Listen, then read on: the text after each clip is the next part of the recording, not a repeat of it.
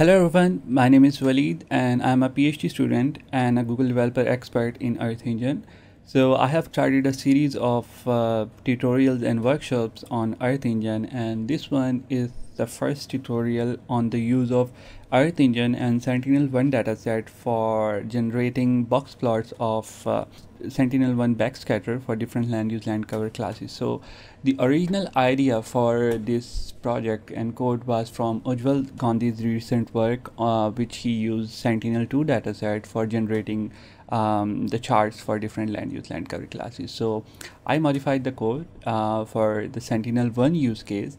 and uh, this these are the codes i will explain in the step by step that how you can use and modify the code for your own research so overall the code is divided into five sections the first section focuses on inputs of the code so in the inputs we have uh, area of interest and then a start and end date which you can modify and hopefully the code will work for your given inputs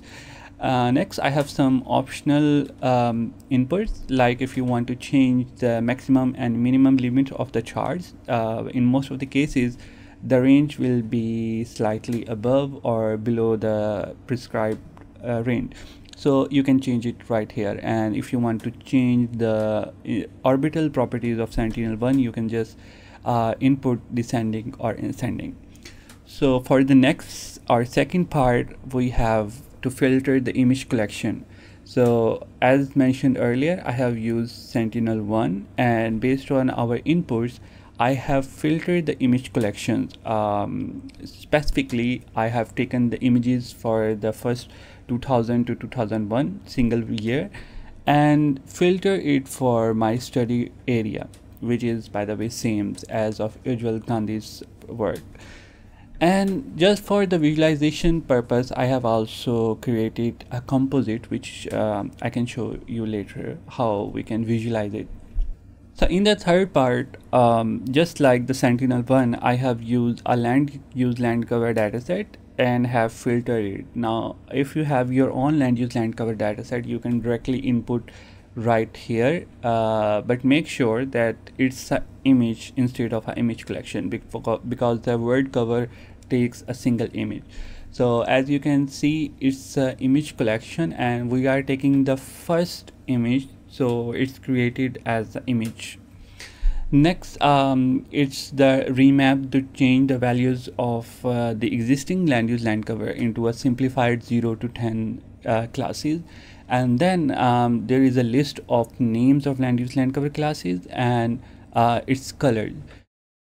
in the fourth section, we have uh, prepared our, in, uh, previously we have prepared our Sentinel-1 uh, time series, we have prepared WorldCover, we have uh, land use land cover data, and we have our inputs. So in the fourth section, what we do is we generate uh, samples through random sam stratified sampling approach, and then we use those samples to get the values of land use land cover and the respective sentinel-1 data so here you can see the code for the stratified sampling it's much more similar to the machine learning approach that uh, we use a similar approach to generate training sample in the machine learning um, code and here uh, we have two inputs the number of points which uh, represent how many points we want to generate for each land use land cover class and the scale. Since we are working with the sentinel 1 and it has a spatial resolution of 10 meters so we are going with the 10 and next we have to generate the statistics now in earth engine there is no predefined way of uh, generating a box plots. This means we have to manually create statistics and then manually create the chart. So first for the statistics, uh, to generate the box plot, we need the common statistics like minimum, maximum, median, and the percentiles like 25 or 75th percentile values. So by using the reducers we can calculate all of these statistics so the fourth section is mostly on generating samples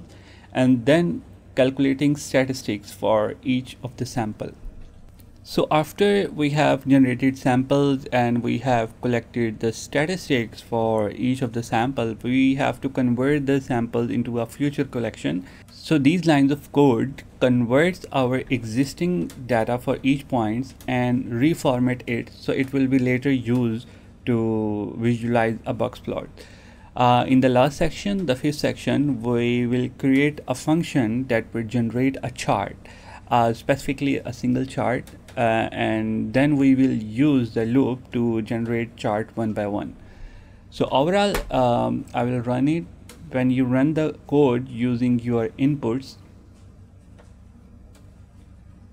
you will not only visualize the land use land cover the sample the composite but also you will get the box plot for each of the sentinel one using both VV and VH bands. So overall, if you observe the box plot, the tree cover has relatively high backscatter similar to grassland, shrubland and buildup has very high backscatter and lastly the water the water class has relatively very low backscatter values which provide an efficient way of mapping water specifically if you are using it for floods or other use cases it just suits better compared to the spectral uh, Sentinel-1 or Landsat datasets. So in this tutorial, we have learned that how we can use a Sentinel-1 backscatter data uh, for VV and VH band uh, along with the word covered land use land cover to generate box plot which shows the variations in the backscatter values for each land use land cover class. Um, besides this code, I have also created a blog which you can find in the description and see you in the next tutorial.